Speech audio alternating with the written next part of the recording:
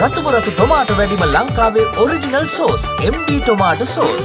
පහුගේ කාලය පුරාවටම පෑලිය ගොඩින් කැලනිගඟ මතින් යන ඔබට හිතේ ලොකු අමුත්තක් අපූරත්වයක් ඇතිවෙන්නට ඇති මේ ගඟ උඩින් කොහොමද කනුවක් නැතුව පාලමක් ඉදිවෙන්න කියලා. ගගේ යුරු දෙකේ උසට කණු හතරක් හදලා තියෙනවා ඔය කණුවල ඉඳලා ඊට හතරමාරක් දිග කොටස් තමයි හදන්නේ.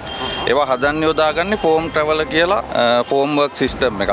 එතකොට ඒ ෆෝම් ට්‍රැවල එකෙන් සෙග්මන්ට් එක කොන්ක්‍රීට් කරනවා. ඒක අල්ල ගන්නවා අර කම්බිය.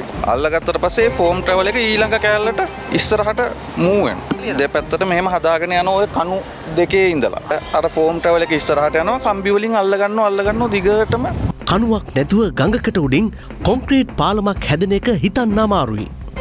මේ කොන්ක්‍රීට් එක වටේට එන්න එපයි මොකක් හරි ස්ටම් එකක් මේක රඳවා තියාගන්න. ඔයගොල්ලෝ මග තොඩේදී එනකොට දකින්න අර රතු පාට යකඩ කොටස ඒක තමයි කොන්ක්‍රීට් එකේ සපෝට් එක විදියට හැම නිතරම තියෙන්නේ. ඊට පස්සේ අර හයිවෙත් එක ඇල්ල කම්බි වලින් අල්ලලා තියාගන්න. පැත්තට ඒතකොට හදන හදන එකට කම්බි යොදනවා.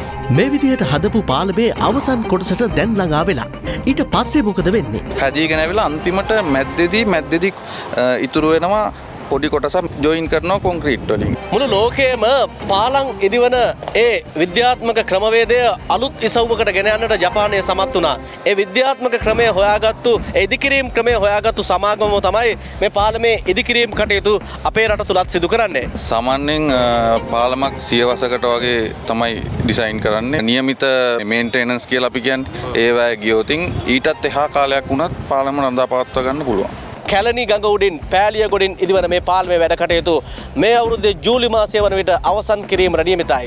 අපේ රටේ මාර්ග සංවර්ධන ඉතිහාසයේ විප්ලවීය වෙනසක් ඇති කරමින් අලුත් පිම්මක් තබන මේ පාලම මතින් ගමන් කිරීමේ අවස්ථාව එළඹෙන ජූලි මාසයේ සිට ඔබටත් උදා වෙනවා.